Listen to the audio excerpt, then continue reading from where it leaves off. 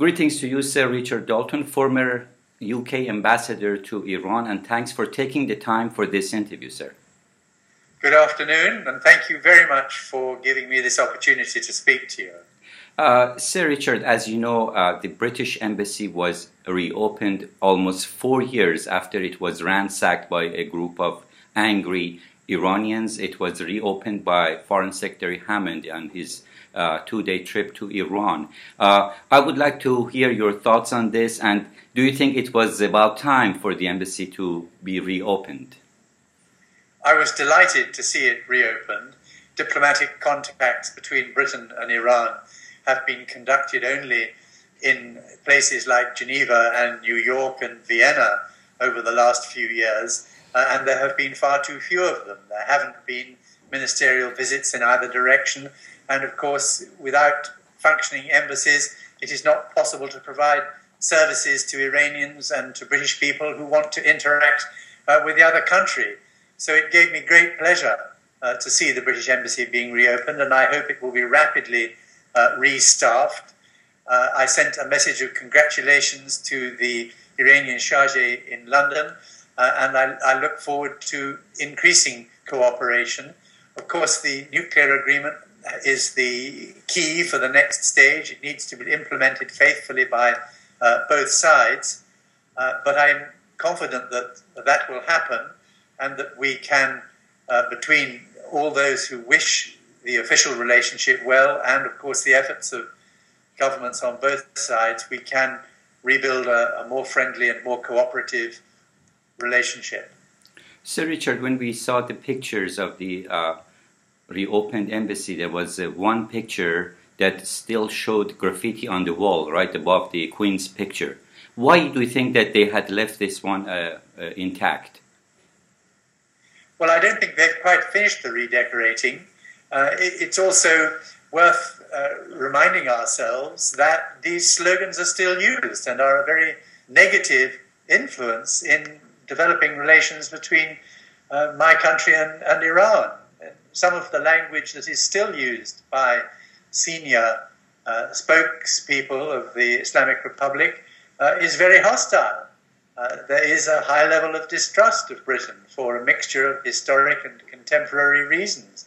And as Mr. Hammond made clear eloquently, uh, rather than uh, try and pretend that these difficulties don't exist, uh, both countries need to find ways to overcome them, to work around them, to show by goodwill and mutual respect uh, that it is possible to find a, a better way for the future.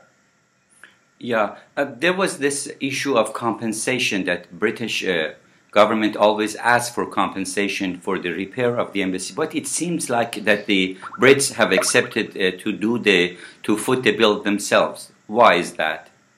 I'm not clear that that's the case. You may have better information than, than I do. I would have expected the, the British to continue to, to, to press for some form of compensation, as is standard in international diplomatic practice. Uh, before the reopening of the embassy, uh, London asked for two conditions. One was that the uh, Iranian government accept about 4,000 uh, would be refugees whose uh, applications have been denied by the Home Office, and uh, Iran rejected this condition.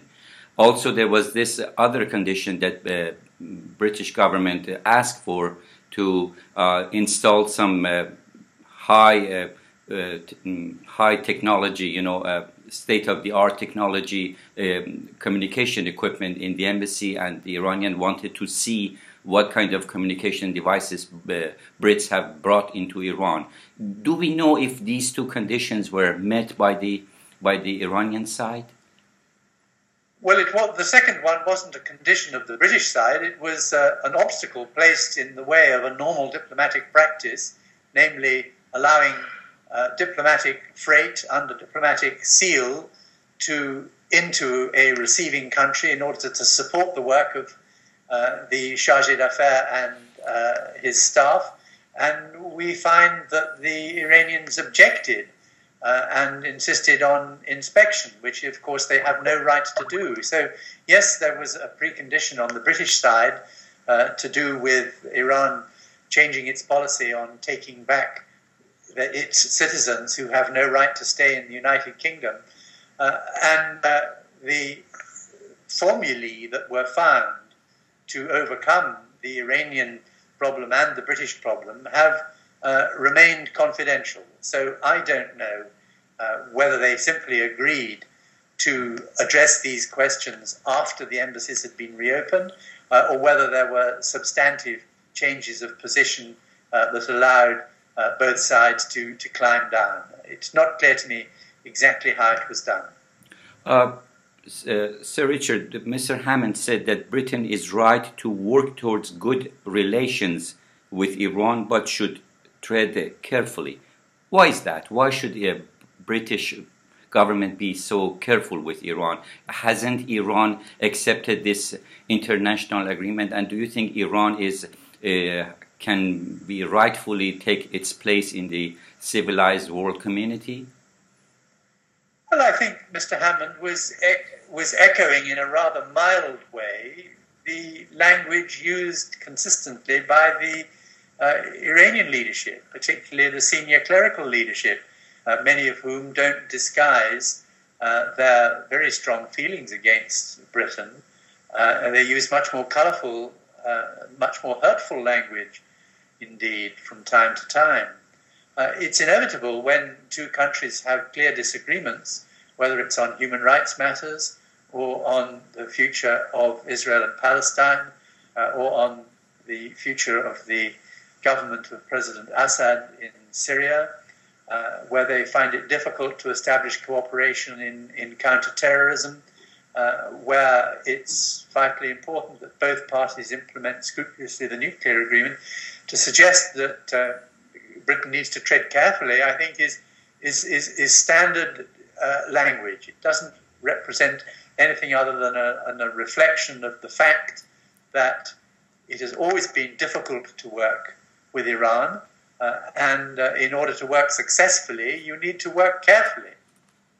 Uh, when he met uh, Mr. Rouhani, the Iranian president said the historical judgments of a nation cannot be changed in a short period of time, but uh, should not be. but one should not be stuck in the historical past.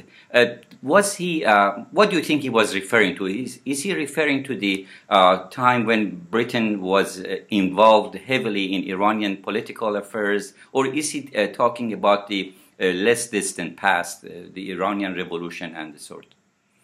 I think he's talking about both, but he is making a, a delicate illusion rather than a crude and vicious allusion to the past such as is often made by other uh, leading Iranians and representatives of the conservative press in Iran uh, in particular.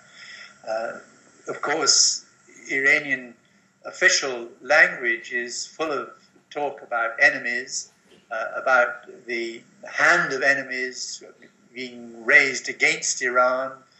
Uh, socially, economically, politically, morally, from a religious angle. Uh, and uh, this vocabulary is, is plain to see. There is less of it than there was under the previous uh, regime of President Ahmadinejad, and, and, and that is very welcome. Uh, but certainly it was something that I had to confront uh, from 2002 to 2006 as, as a British ambassador.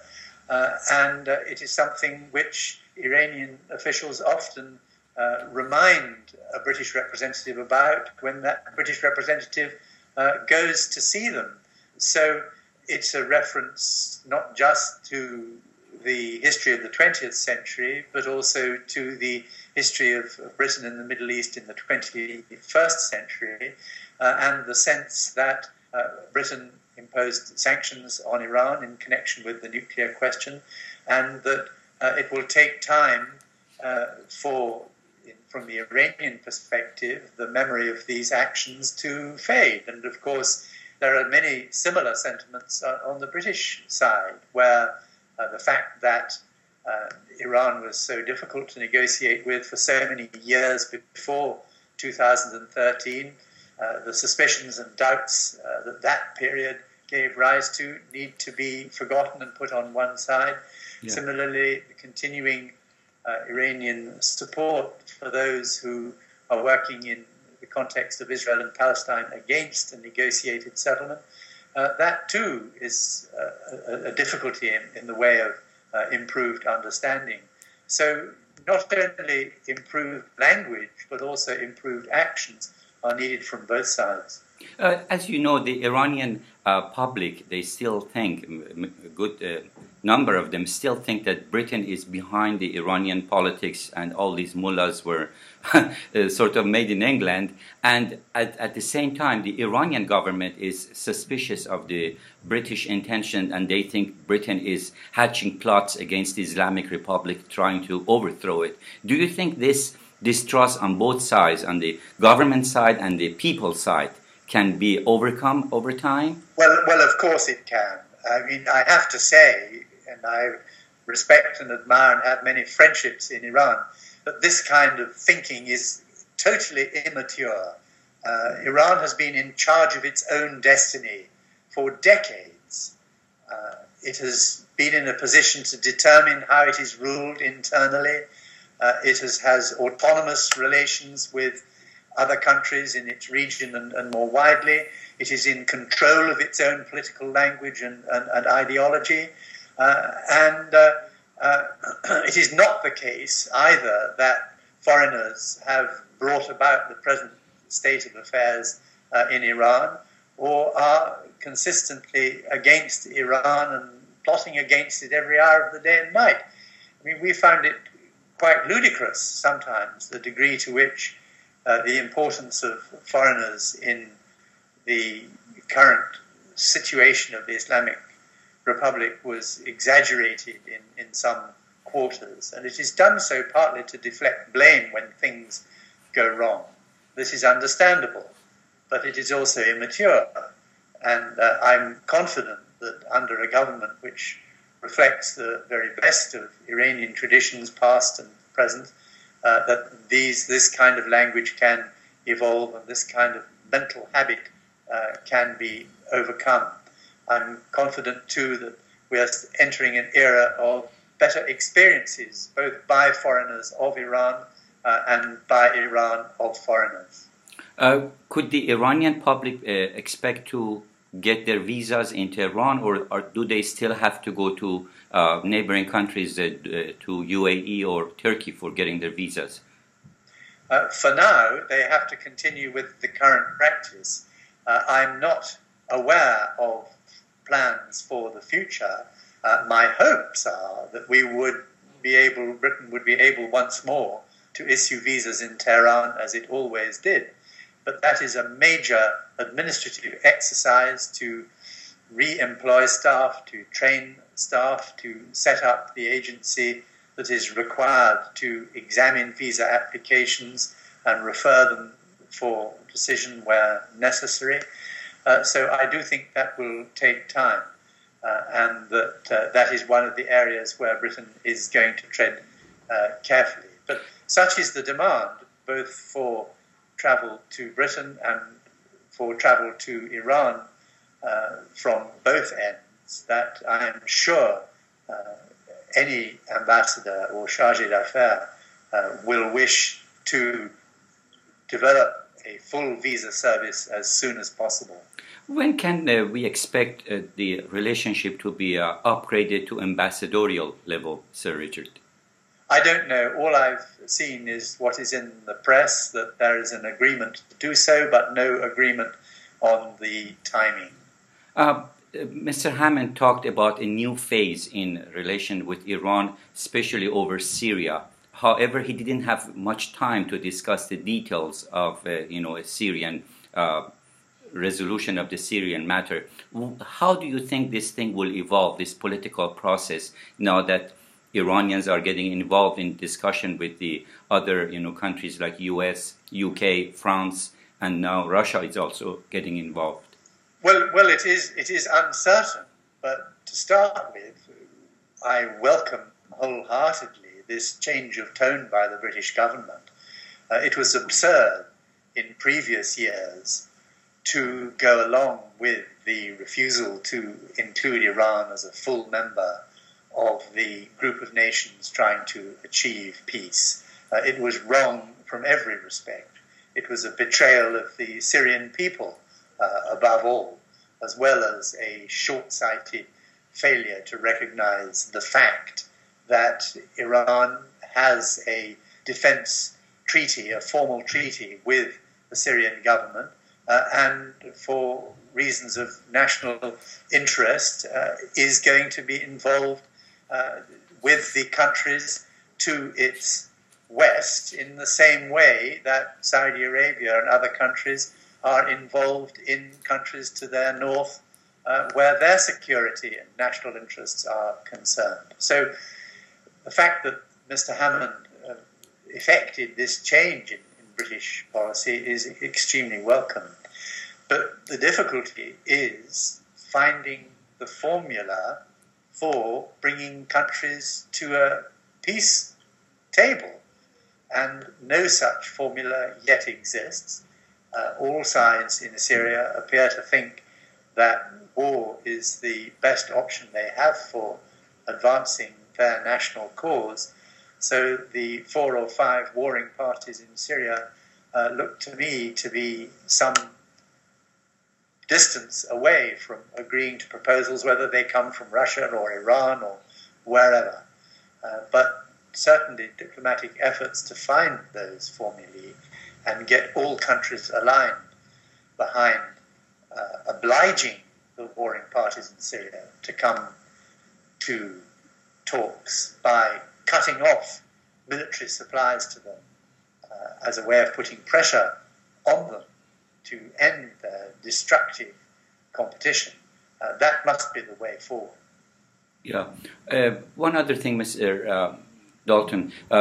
Mr. Hammond uh, talked about the Iranian community when he saw Iran for the first time. Uh, he said he didn't expect it to be like this. He found it a very, you know, progressive uh, society. People not uh, necessarily uh, taking every order from the government. He mentioned the traffic uh, going through.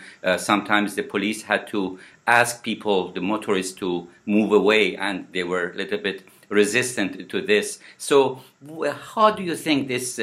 Perception of the foreign secretary once he comes back. Uh, of course, he's come back to London now. How it could change the policy, the UK policy towards Iran? Personal perceptions of ministers, however naive some of their remarks might be, uh, are important. Uh, and I'm very glad that Mr. Hammond has made the visit. Uh, he is the first British foreign minister to have gone to Iran since 2003. Uh, so there is far too little knowledge of Iran in the highest levels of the British government.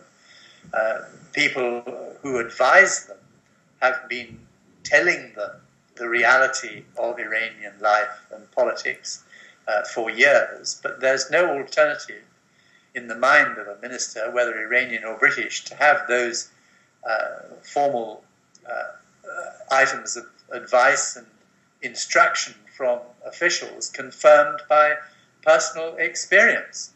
So uh, I hope that uh, this is the first in a series of encounters which will show both British and Iranian leaders that uh, their stereotypes about the other country, uh, which they have been stuck with for too long because of the nuclear Iraqi and Syrian confrontations, that those stereotypes uh, are unsophisticated and must be replaced with a fuller understanding of the complex reality of each other's country. Yes, and uh, one last question: Do you think the Iranian president would pay a visit to to Britain uh, since he's going to France in November? Would an invitation be in order by uh, Prime Minister Cameron? Uh, it certainly would be in order. Uh, it wouldn't surprise me, though, if President Rouhani was to say, if he were to receive such an invitation, thank you, uh, but uh, I shall uh, make a suggestion to you as to when my calendar uh, might allow it in several months' time or even well on into 2016. I think British relations are sensitive in, in Iran and that the Iranian government intends to tread carefully, to use a phrase you reminded me about Yeah. earlier. Uh, after all, they see potential benefit in discussing regional issues with a permanent member of the Security Council. Uh, they can see that British commercial concerns are potential commercial partners that can bring advantage to the Iranian economy and the Iranian people. Uh, but in order to harvest such advantages, uh, they need to avoid antagonizing those sections of their own uh, opinion uh, inside Iran uh, that don't want to see uh, relations with Britain uh, flourish. So uh, I'm convinced that there will eventually be a presidential visit uh, by Iran to London, but I'm not holding my breath. I think it may take some time. Any other thoughts you want to add to our uh, talk, uh, Sir Richard? Not at the moment, thank you. Thank you so much for taking the time, sir. Not at all. Have a nice day. Thank you. Bye bye. Bye bye.